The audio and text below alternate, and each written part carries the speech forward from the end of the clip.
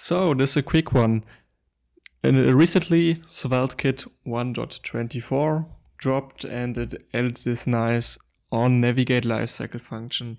And it's really cool because that allows us to do page transitions.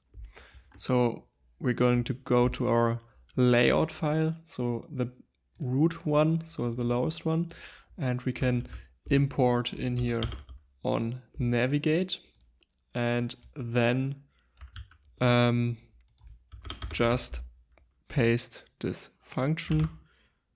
Uh, I missed this part and um, it just checks if the document has a start view transition function to it. If it doesn't have one, it returns. If it has, it's called this browser function that starts transitioning the page. And this is a browser feature. Um, so that's why this is only available currently in Chrome, not in Firefox or Safari. And this basically tells the browser I'm switching my view and please transition it smoothly. And by default, if we go to our app, we see already that it's like fading to the new page. I can quickly disable it again so you can see the difference. Return here early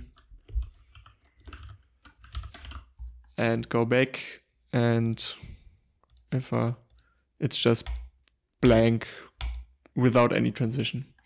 So um, it looks very smooth and cool and I like that. We basically have to do nothing besides of this to get this result. We can even customize this uh, even more. Shout out to uh, the Svelte blog post. I will link it from Geoff.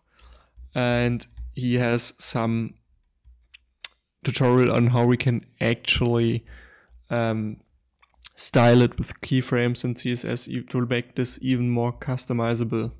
Here's, here's an example in this video, but uh, yeah, it looks like the page is coming from the left or yeah, it's really fast. You can check out this blog post to see it in action. But one thing that I like even more, and I learned it from Jake's blog post, it's a little bit older when the Chrome team um, revealed this feature. took some time to be uh, to be shipped in stable mode, and um, it's transitioning um, like text or some icons or something. And uh, best part is it's that simple. So you can see here I have added this small indicator. We are on the home page. This bullet symbol here. And if I change it, it will be on the other page. We can even transition that. And it's really simple actually. So um, I have this CSS here, which basically does um, show the bullet icon. And by just saying,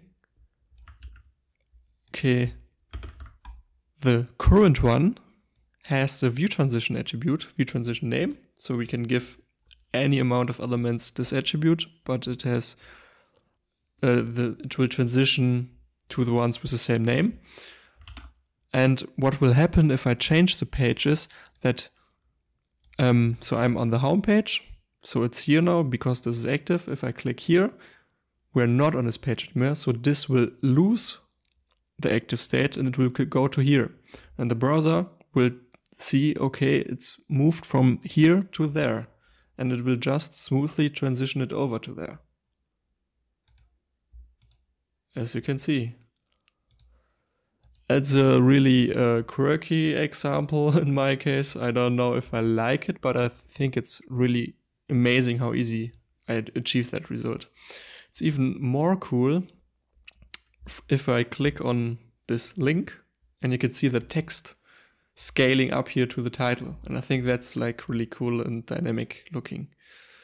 And um, also fairly easy. We have a problem here, like we don't know in advance where I will click and I can't give it to any of these. I can should only give it to one I actually click on. And um, how do I do that? It's um, I will I did a function in a view transition, and when I click on this link, so I added an on-click handler, I call this function, and at the same moment I click, I give it the style of the view transition name, so it happens like at the same time like the navigation happens. And of course on the target page, on the H1 here, have also a class and the class has also the same view transition name. So again, the browser's doing all the work.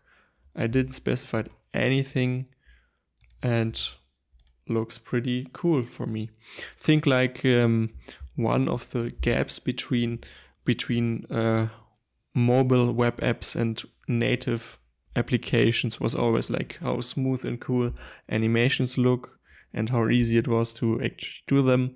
And I think this is a great step in the direction where we get smoother, nicer looking web experiences. Also, shout out to um, th this blog post again that did a really cool um, and I think also very advanced thing with this video thing. So we can see here the thumbnail is scaling up with this section and from the side slides in the sidebar and um, that's cool when you clicks yeah, when he clicks here it's going to move over. And uh, if he clicks back it scales down. That's like the end game of this feature. You can customize basically all the animations. Um, so I just used mostly the standard things, but as I showed you, you can use your own keyframes. And um, they also have some of the code in here. So thanks for tuning in. I think it's really easy to add this to your app to make it look nicer. Let me know in the comments if you will use it and thanks for tuning in.